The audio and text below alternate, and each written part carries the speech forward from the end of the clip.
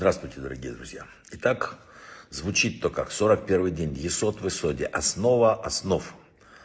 Э, каждый человек нуждается в том, чтобы иметь связи с другими людьми. Каждый человек общается с кем-то, контактирует. И в результате вот наша жизнь складывается из этих контактов. Спросите себя, трудно ли вы сближаетесь с людьми? Легко ли контактируете на работе? Подумайте, есть ли смысл замыкаться в себе, лишая себя общения с окружающими, даже если у вас был раньше какой-то негативный опыт. Также замкнуты вы э, как вот во внешней, так и во внутренней, личной жизни. Боитесь ли вы тех контактов, потому что кажется, что слишком ранивый. Вот все это надо как-то попытаться оценить сегодня. Важно развить свою способность налаживать и поддерживать связи с людьми. Даже если есть разумная причина не доверять кому-то. Мы должны помнить, что Всевышний дал каждому из нас такую, знаете, божественную душу, способную любить. И мы должны узнавать ее голос. Вот, в принципе, то, о чем говорит основа основ. Глава Бикухатай Всевышний предостерегал нас от э, целого ряда огромных ошибок и пытался удержать от э, них даже как бы угрозами, говоря, что будет так и так и так. Но в конце самой грозной в Торе проповеди, как это случается с любящими родителями, он признался, что в конце концов все обойдется. Слова Бога в конце сказаны, что эм, «и вспомню союз свой и завет с Яковом, а также завет с Ицкаком, и завет мой с Авраамом, и вспомню, и землю вспомню». То есть принципе, нам подарена надежда, но это не значит, что будет легко. Вот что рассказывает нам глава, глава Бехуд Татай. Цель нашей жизни – личное совершенство. Нам это говорится на протяжении всей Торы. Мы должны прийти в этот мир лучше, хуже, уйти из этого мира лучше, чем пришли. Это задача, да, и все, что ведет нас к этому, добро, а все, что уводит от этой цели, как бы нам ни казалось это другим, это зло, вот и все. Если что-то помогает вам э, развить свою душу, все добро. Нет, нет. Потому что зло и добро перемешаны и замаскированы. Вот именно так его надо определять. Вот это лакмусовая бумажка. Поэтому люди приходят в этот мир раз за разом исправлять то, что натворили. Иногда перевоплощения повторяются много раз. Люди любят эту тему, я в двух словах расскажу.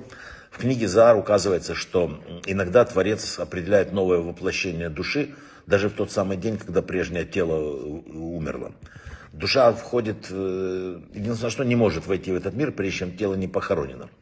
Так написано в книге Зары. Порой, когда еще родственники возвращаются с похорона, душа умершего уже начинает свой новый цикл жизни. Иногда даже в той же стране, в том же городе, иногда в той же семье. В других случаях э, воплощения бывают через годы, через столетия, иногда через тысячелетия после смерти прежнего тела.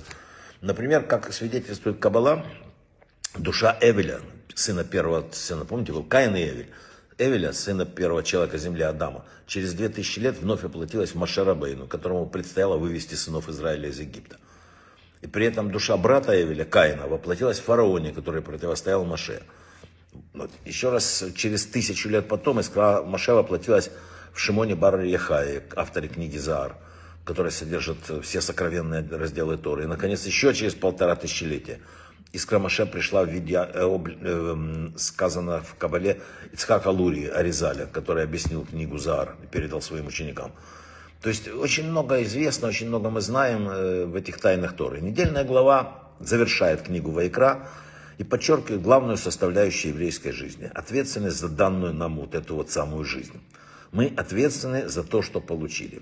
Понятие ответственности, как и следствие соблюдения законов Торы, это и есть прямой путь человека к Всевышнему. Вся извилистость человеческой истории – это доказательство преимущества прямоты, не более того.